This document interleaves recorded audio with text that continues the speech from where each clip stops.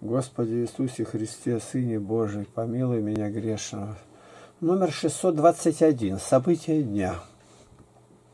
1 Тимофея 4,16. Вникай в себя и в учение, занимайся сим постоянно, ибо так поступая спасешь себя и слушающих тебя. За 21 5 августа 2017 года. События. Ну какие события? Переместились на территорию Скворечника, где я живу. Мы на тележке с Володей подвозили уже заранее распиленные щурки, ветлы. Ну и кололи и складывали. Я позвонил Евгению Долгову из Подстепной насчет, он как а, обещал грейдер. Он говорит, будет после обеда. Во сколько? В три. Ну, я говорю, давай, типа, раньше пообедаем не два часа, а в час. И я пойду, мало ли еще приедет раньше, а без меня он совсем не так сделает. Ну и пообедали. И мне пришлось потом раза три звонить. Пять часов фактически я простоял там.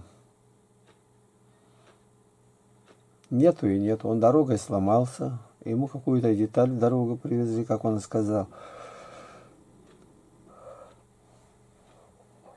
Но потом все наладилось. И нож у него широкий, дорога узкая, и там много в кювет ушло. Вчера пришлось мне проехать по деревне, предупредить, что в субботу, то есть вот я сегодня, суббота, говорю, 26 августа, чтобы все вышли на субботник совковой лопатой с ведрами из кювета весь этот щебень поднять, положить на трассу. Ну, какая трасса тут 200 метров в деревне внутри? Ну, это дорога наша. Вот, что-то еще не узнал я. Роман говорит, на первом мостике он КАМАЗ там вез у него. И, видимо, э, сильно просело там или что, узнаем. Нам, если что-то добавлять, камень рядом лежит, это все продумано было. Потому как широкая гусеница до конца он не мог удавить. Надо, чтобы удавлено было. Вот. То надо договориться с Игорем, чтобы ну, СК-700 или сколько тяжелый пригнал трактор и вдавить там. Так пока ничего нету. Время близится. Марина уезжает 27 воскресенья с Сергеем Попковым. Ну, мы остаемся одни. Трое. Все. Вот. День прошел.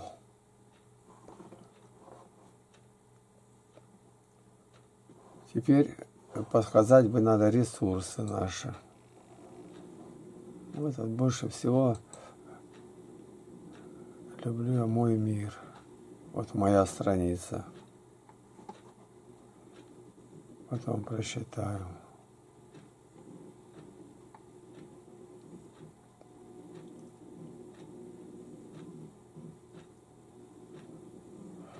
Ай-ай-ай. События дня. Вот сколько всего сегодня переставили. Сбора. Вот перешло сюда. Раз, два, три, четыре, пять, шесть, семь, восемь. Вот так.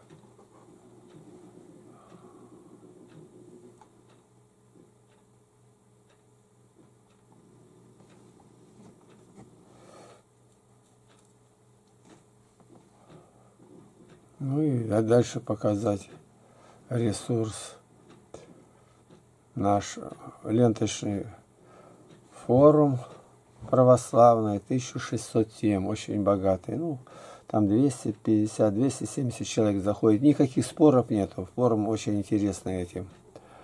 Ну и канал, видеоканал. Просмотров 7 миллионов 310 тысяч 397, 7600 подписчиков. Вот так. Вот сегодня я выставляю по 10 роликов небольшие. Вот насколько выставил сегодня. 27, 38, тридцать, одиннадцать, одиннадцать, тридцать, пятьдесят два часа, два, три, чуть не на четыре часа просматривать. Ну, кто будет? Ну, кому что понравится. Вот так. Восемь тысяч, примерно 50 или 100 новых роликов наших. И во свете Библии православный библейский сайт. Еще тут такого нету нового, потому что форма уже застывшая. 50 книг примерно аудио начитаны и вопросы ответы. Вот 4124. Вот я сейчас его включаю и беру. Тема это война, о войне. Вопрос 1566 открытым оком, 60 том. Как относиться православному христианину к празднованию Дня Победы 9 мая? Патриоты связывают эту дату с днем памяти великомученика Георгия Победоносца, поместили священное изображение на военный орден, а архиерейский собор РПЦ 29 ноября 4 декабря 1994 года установил в этот день поминать усопших воинов за веру, Отечество и всех страдальчески погибших в годы Великой Отечественной войны 1941-1945 годов. Какая вера имеется в виду? Кто ее от кого и чем защищал. В бой по преданию шли со словами «За Родину, за Сталина», а истинно верующие к тому времени были все попересажены, расстреляны, сосланы. Да и сколько их было в те годы вместе с баптистами и другими, признающими Христа. Эти записки мне поступали, когда я вел занятия по изучению Слова Божия по православной вере в университетах, в милиции, в воинских частях, техникумах, школах и три радиопрограммы. Ответ. В Новом Завете на этот вопрос нет ни слова. Что могу тебе дать? Какое благословение могу дать, если оно уже отдано небесному, а не войне? А я говорю вам, и это «а» я говорю перечеркнуло все, чем жило человечество до тех упор. Видите, как нужно смотреть на простые слова, внимание – Матфея 5, 44, 46. «А я говорю вам, любите врагов ваших, благословляйте проклинающих вас, благотворите ненавидящим вас, и молитесь за обижающих вас и гонящих вас. Да будете сынами Отца вашего Небесного, ибо Он повелевает солнцу своему восходить над злыми и добрыми и посылает дождь на праведных и неправедных. Ибо если вы будете любить любящих вас, какая вам награда?» Не то же ли делают и мытари? Легко заметить, что кто иначе думает, хотя бы с ним рядом стояли папа римский патриарх с автоматами наперевес, есть не сыны Отца нашего Небесного. Они поступают как мытари. Те, кто воюет, пусть воюет, им это как раз.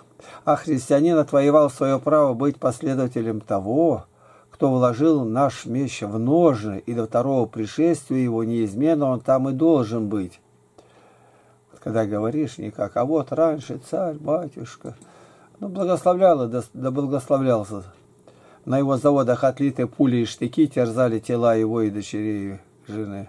Матфея 26:52. Тогда говорит ему Иисус, возврати меч твой в его место, ибо все, взявшие меч мечом, погибнут. У кого нет терпения вынести все, что Бог послал для нашего блага и прославления, для очищения и исправления, те пойдут сами в плен те будут убиты, если посягнут изменить ситуацию через применение плотского оружия. Откровение 13.10. Кто ведет в плен, тот сам пойдет в плен. А кто мечом убивает, тому самому надлежит быть убитым мечом. Здесь терпение и вера святых. У этих вояк нет ни веры, ни терпения.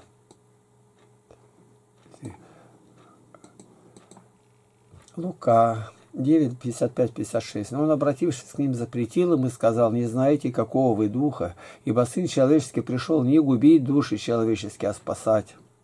2 Коринфянам 10.4. Оружие воинствования нашего не плотские, но сильные Богом на разрушение твердынь. Ими не спровергаем замыслы. 2 Коринфянам 6.7. в слове истины, в силе Божией, с оружием правды в правой и левой руке. Припоясание чресел – это изречение встречается в Библии всего лишь семь раз. Стоит того, чтобы рассмотреть, как шло на протяжении 3600 лет разъяснения, что же это означает и каким ремнем нам припоясываться, и что на ремне должно висеть – кортик, пистолет или Библия в истинном толковании святых отцов. Вот интересно, когда сегодня люди смотрят, как так все из Писания. Ну, это стою на кафедре, и вопрос задан, я мгновенно его отвечаю. Исход 12.11. Ешьте же его так. Пусть будут честно ваши припоясаны, обувь ваши на ногах ваших, и посохи ваши в руках ваших. И ешьте его с поспешностью, это Пасха Господня. Каждый из строивших Припоясан был мечом по чреслам своим, и так они строили. Возле меня находился трубач. Неемя 4.18.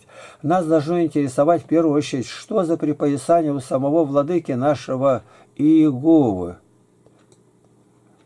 Это интересно. Сразу вопрос. Притча 31.17. Припоясывает силу и чресла свои, укрепляет мышцы свои. Иса 11.5 и будет припоясанием чрес его правда, припоясанием бедер его истина.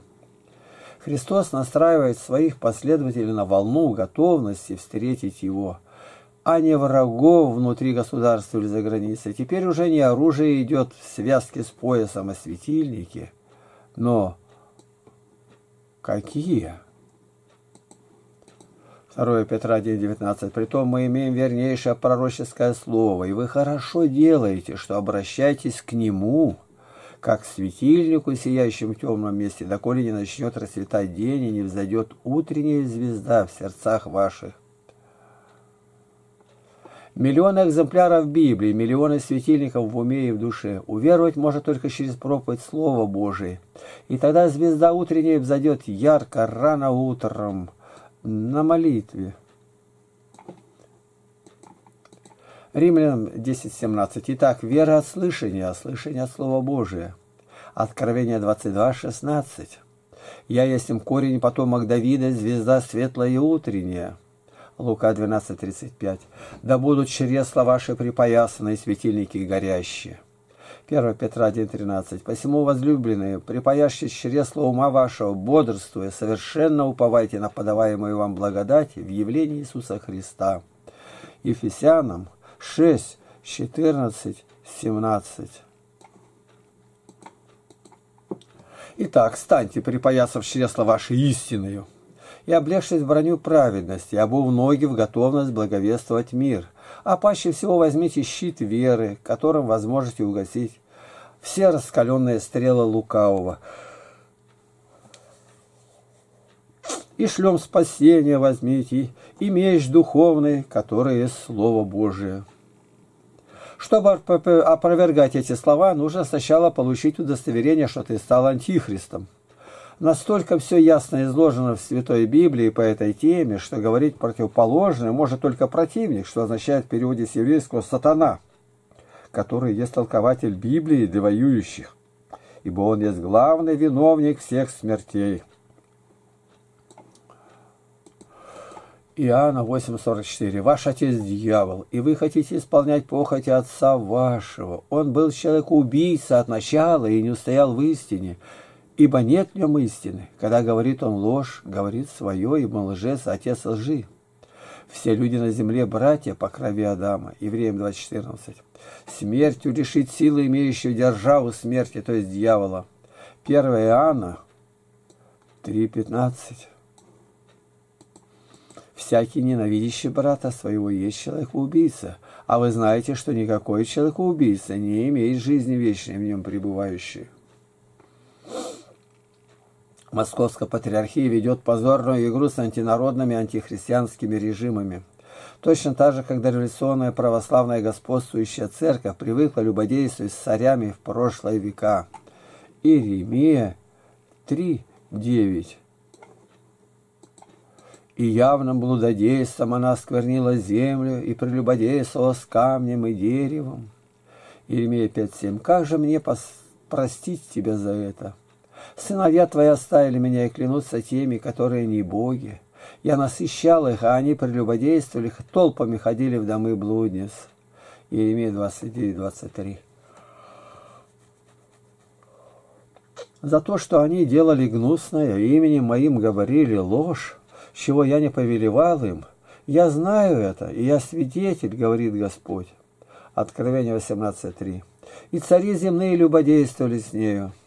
Эти дни победы и эти связи с силовыми структурами есть предвестие новых бед на церковь, которые предали на растерзание лиходеям неверующим архиереи из Синода. У верующих есть праздник победы над злом, над дьяволом, над тьмою. И это совершилось в воскресенье из мертвых Христа Иисуса. 1 Иоанна 5.4. «Ибо всякий, рожденный от Бога, побеждает мир, и сия есть победа, победившая мир, вера ваша наша». 1 Коринфянам 15.57. «Благодарение Богу, даровавшему нам победу Господом нашим Иисусом Христом». Юноши, взятые в эту безбожную армию, будь то в любой стране мира, развращаются, измываются друг на другом и погибают тысячами в мирное время. А кто служит Христу, те одерживают истинную победу, которую празднуют в вере своей каждый день над лукавым. 1 Иоанна 2.13 «Пишу вам, юноши, потому что вы победили лукавого». Если мы даже тебя расстреляли за отказ участвовать в военном деле, ты все равно победитель над злобой их. 1 Иоанна 4.4. Дети вы от Бога, и победили их, ибо тот, кто в вас, больше того, кто в мире. Какое еще нам обещано оружие в борьбе за справедливость? Будь то даже захватнические войны, когда мы захватываем плацдарм в душах слушающих их. Первое Послание апостола Иоанна, 5 глава, 5 стих. Кто побеждает мир, как не тот, кто верует, что Иисус есть Сын Божий? И вот о таких говорится в вечности, что они не служили дьяволу и дьявольским правительствам, а были во всем верны Богу и Его, и Господу Саваофу, и прославили своей смертью Христа Иисуса, и были водимы третьим лицом Троицы Духом Святым. Их победа будет отпразднована в вечности, ибо они победили Антихриста, который уже и сегодня действует в своих предтечах, заставляя служить в убийственных армиях сатаны. Откровение 12.11 Они победили его кровью Агнца и словом свидетельства своего, и не возлюбили души своей даже до смерти. Откровение 2 на 11. Имеющий ухо слышит, да слышит, что Дух говорит церквам, побеждающий не потерпит вреда от второй смерти. Панихида от матерщи, по матерщинникам, по тем, кто не уверовал при жизни в Иисуса Христа и не жил в Духе Святом, не свидетельствовал о Спасителе Иисусе, те будут брошены в вечную муху, в огонь, который уже предзнаменует их вечное мучение и называется вечным, горящим даже в видимом мире – на могилах. Римлянам 8 глава 35, Кто отлучит нас от любви Божьей? Скорбь или теснота, или гонение, или голод, или нагота, или опасность, или меч, как написано, за тебя умерщвляют нас всякий день. Считают нас за овец, обреченных на заклание. Но все сие преодолеваем силою возлюбившего нас. Ну вот, можно сказать, на сегодня все.